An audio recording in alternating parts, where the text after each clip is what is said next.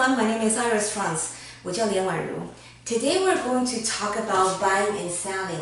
In particular, I'm using Hal Varian's Intermediate Microeconomics book and I'm going over chapter 9, in particular figure 9.3. So, in this chapter, you have initial endowment, omega 1 and omega 2.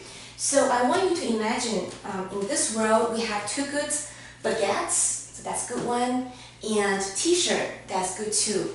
And for some reason, your initial endowment is a lot of baguettes and only a few t-shirts. And that's not ideal, of course. You are hoping that you can sell your baguettes and you'll be able to buy some more t-shirts because you don't have a lot of t-shirts as you can see. So because you're going to sell your baguettes, you will hope that the price of baguette will be higher and because you're buying some t-shirts, so you're hoping that the price of t-shirt will be lower. So you hope that the P1 will go up and you're hoping that P2 will go down. So that's your initial endowment and the initial budget line is this flat one. And we know the slope of the budget line is negative P1 over P2. So suppose your initial consumption bundle is here. So you can see that because your x1 is less than omega 1, meaning you end up with less baguettes than your endowment, therefore you're a net seller of good one, that's the baguettes. And uh, you end up a consumption bundle x2, the number of t-shirt is higher than your initial endowment of t-shirt. So you're a net buyer of t-shirts, that's your good two. Now suppose you're in bad luck. Remember, you're hoping that the price of good one is going to go up and the price of good two is going to go down. But now it's, it goes the opposite of your hope.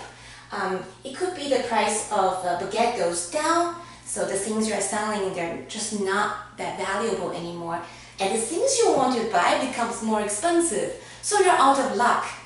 And in that case, your budget line is going to become flatter. And notice that your new budget line is blue line. It still has to go through your initial endowment. So it goes like that.